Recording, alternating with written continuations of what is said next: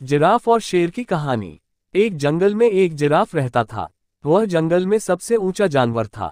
उसकी गर्दन बहुत लंबी थी, जिसके कारण वह ऊँचे ऊँचे पेड़ों की पत्तियाँ खा सकता था। उसे अपनी ऊंचाई और लंबी गर्दन पर बड़ा घमंड था। जब भी वो मैदानों की घास चरते जानवरों को देखता तो उनका मज़ाक उड़ाता और उन पर हंसता था। एक दिन जंगल में तीन जंगली भैंसे भोजन की तलाश में घूम रहे थे।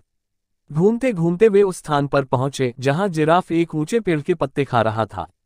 उनका मन भी पेड़ के पत्ते खाने का हुआ, लेकिन उनकी ऊंचाई जिराफ जैसी नहीं थी, न ही उनकी गर्दन लंबी थी। इसलिए वे जिराफ के पास जाकर बोले, जिराफ भाई, थोड़े पत्ते हमें भी दे दो, हम भी जरा इन पत्तों को चख कर देखें।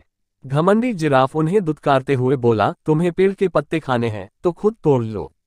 मैं तुम्हारा नौकर नहीं हूँ, जो तुम्हें पेड़ से पत्ते तोड़ तोड़ कर खिलाऊं। जिराफ की बात सुनकर जंगली भैंसों को बड़ा बुरा लगा। वे जिराफ से बोले, हम तो तुमसे निवेदन कर रहे थे।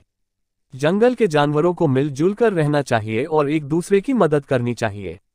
ज्ञान मत बघारो। चलो भागो यहाँ से। जिराफ ने गुस्से में कहा और पेड़ के पत्ते खाने लगा। तीनों जंगली भैंसे नीचे मैदान की घास चरने लगे। तभी अचानक वहाँ एक शेर आ गया। वह दिन भर से भूखा था और बड़े शिकार की तलाश में था। उसने जब जिराफ को देखा तो सोचा, आज इस जिराफ का ही शिकार करूँगा और पेट भरकर इसका मांस खाऊँगा। वह जिराफ की तरफ़ बढ़ने लगा। पास की घास चर रहे जंगली भैंसों ने जब शेर को देखा तो भागकर एक गुफा में छुप गए। पेड़ के पत्ते खाते जिराफ का ध्यान शेर की तरफ़ नहीं था। जब शेर जिराफ के पास पहुँचा और ज़ोर से दहाड़ा, तब जिराफ ने उसकी तरफ़ देखा। डर के मारे उसकी घिग्घी बंध गई। वह मदद की गुहार लगाने लगा। पास ही गुफा में छुपे जंगली भैंसों ने उसकी गुहार सुनी। एक भैंसा बोला, इस घमंडी जिराफ का यही अंजाम होना चाहिए। दूसरा भैंसा बोला, बिल्कुल सही। इसने हमें खाने को पत्ते नहीं दिए थे। उनकी बात सुनकर तीसरा भैंसा बोला, नहीं भाइयों, हमें उसकी सहायता करनी चाहिए। हम सब मिलजुल कर रहेंगे, तभी किसी बड़ी मुसीबत का सामना कर पाएँगे। दोनों भैंसों को तीसरे भैंसे की बात समझ में आ गई। तीनों ने जिराफ की सहायता करने का फैसला किया और गुफा से बाहर निकलकर शेर की तरफ़ बढ़ने लगे। शेर के पास पहुंचकर उन्होंने उससे, ललकारा, हिम्मत है तो हम तीनों का सामना कर।